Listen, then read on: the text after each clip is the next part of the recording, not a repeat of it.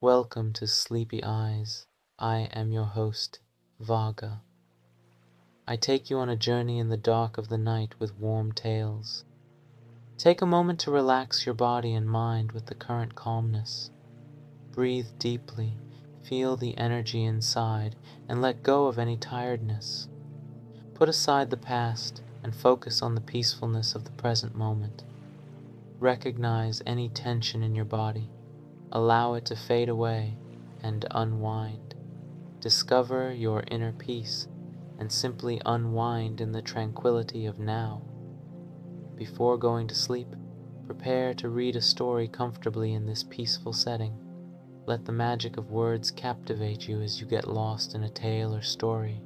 With the warmth from this peace and relaxation, your sleep will become even more serene. Close your eyes, embark on a journey with a touch of words. Let each word guide you a bit deeper toward the essence of your inner peace. Now, relax and enjoy the pleasure of getting lost in the enchanting world of the story before drifting into sleep. The Wonderful Wizard of Oz by L. Frank Baum. Chapter 6 The Cowardly Lion.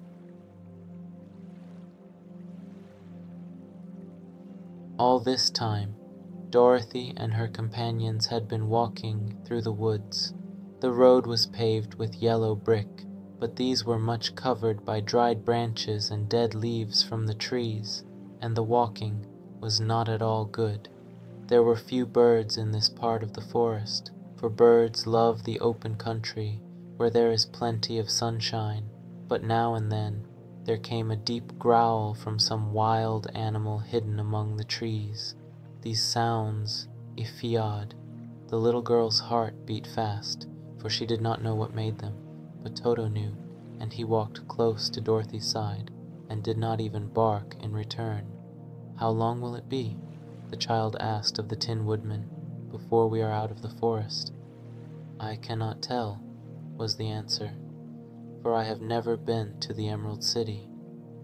But my father went there once when I was a boy, and he said it was a long journey through a dangerous country. Although nearer to the city where Oz dwells, the country is beautiful, but I am not afraid so long as I have my oil can, and nothing can hurt the scarecrow while you bear upon your forehead the mark of the good witch's kiss, and that will protect you from harm. But Toto, said the girl anxiously, what will protect him? We must protect him ourselves if he is in danger, replied the Tin Woodman. Just as he spoke, there came from the forest a terrible roar, and the next moment a great lion bounded into the road. With one blow of his paw, he sent the scarecrow spining over and over to the edge of the road, and then he struck at the Tin Woodman with his sharp claws. But, to the lion's surprise, he could make no impression on the tin, although the woodman fell over in the road and lay still. Little Toto, now that he had an enemy to face, ran barking toward the lion, and the great beast had opened his mouth to bite the dog when Dorothy, fearing Toto would be killed, and heedless of danger, rushed forward and slapped the lion upon his nose as hard as she could, while she cried out, Don't you dare to bite Toto. You ought to be ashamed of yourself, a big beast like you, to bite a poor little dog. I didn't bite him, said the lion, as he rubbed his nose with his paw where Dorothy had hit it. No, but you tried to, she retorted. You are nothing but a big coward. T know it, said the lion, hanging his head in shame. Love always known it, but how can I help it? I don't know, I'm sure, to think of your striking a stuffed man, like the poor scarecrow. Is he stuffed?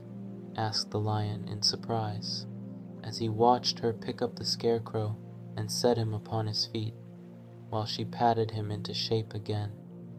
Of course he's stuffed, replied Dorothy, who was still angry. That's why he went over so easily, remarked the lion. It astonished me to see him whirl around so. Is the other one stuffed also? No, said Dorothy. He's made of tin. And she helped the woodman up again. That's why he nearly blunted my claws, said the lion. When they scratched against the tin, it made a cold shiver run down my back. What is that little anima you are so tender of? He is my dog, Toto, answered Dorothy. Is he made of tin or stuffed? asked the lion. Neither. He's a A, a meat dog, said the girl. Oh, he's a curious animal and seems remarkably small now that I look at him. No one would think of biting such a little thing except a coward like me, continued the lion sadly. What makes you a coward? asked Dorothy, looking at the great beast in wonder, for he was as big as a small horse. It's a mystery, replied the lion. Suppose I was born that way. All the other animals in the forest naturally expect me to be brave, for the lion is everywhere thought to be the king of beasts. I learned that if I roared very loudly, every living thing was frightened and got out of my way. Whenever I've met a man, I've been awfully scared, but I just roared at them, and he has always run away as fast as he could go. If the elephants and the tigers and the bear shad ever tried to fight me, I should have run myself, I'm such a coward. But just as soon as they hear me roar, they all try to get away from me, and of course I let them go. But that isn't right. The king of beasts shouldn't be a coward, said the scarecrow. I know it, returned the lion, wiping a tear from his eye with the tip of his tail. It is my great sorrow, and makes my life very unhappy. But whenever there is danger, my heart begins to beat fast. Perhaps you have heart disease, said the Tin Woodman. It may be, said the Lion. If you have, continued the Tin Woodman, you ought to be glad, for it proves you have a heart. For my part, I have no heart, so I cannot have heart disease. Perhaps, said the lion thoughtfully, if I had no heart, I should not be a coward. Have you brains? asked the scarecrow. I suppose so. I've never looked to see, replied the lion. I am going to the great Oz to ask him to give me some, remarked the scarecrow, for my head is stuffed with straw, and I am going to ask him to give me a heart, said the woodman. And I am going to ask him to send Toto and me back to Kansas, added Dorothy. Do you think Oz could give me courage? asked the cowardly lion. Just as easily as he could give me brains, said the scarecrow. Or give me a heart, said the Tin Woodman. Or send me back to Kansas, said Dorothy. Then, if you don't mind, I'll go with you, said the lion, for my life is simply unbearable without a bit of courage. You will be very welcome, answered Dorothy, for you will help to keep away the other wild beasts. It seems to me they must be more cowardly than you are if they allow you to scare them so easily. They really are, said the lion, but that doesn't make me any braver, and as long as I know myself to be a coward, I shall be unhappy. So once more, the little company set off upon the journey, the lion walking with stately strides at Dorothy's side.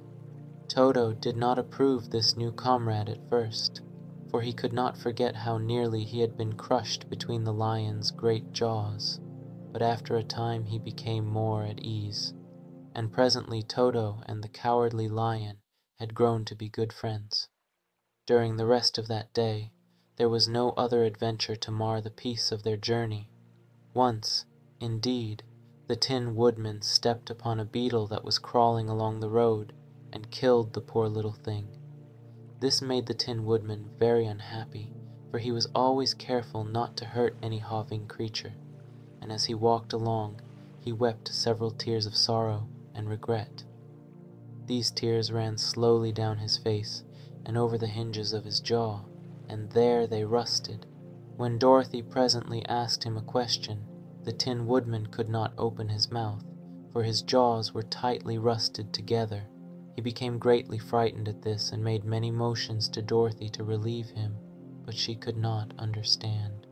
The lion was also puzzled to know what was wrong, but the scarecrow seized the oil can from Dorothy's basket and oiled the woodman's jaws, so that after a few moments he could talk as well as before. This will serve me a lesson, said he, to look where I step, for if I should kill another bug or beetle, I should surely cry again, and crying rusts my jaw so that I cannot speak. Thereafter he walked very carefully, with his eyes on the road, and when he saw a tiny ant toiling by he would step over it so as not to harm it. The Tin Woodman knew very well he had no heart, and therefore he took great care never to be cruel or unkind to anything. You people with hearts, he said, have something to guide you and need never do wrong, but I have no heart, and so I must be very careful. When Oz gives me a heart, of course, I needn't mind so much.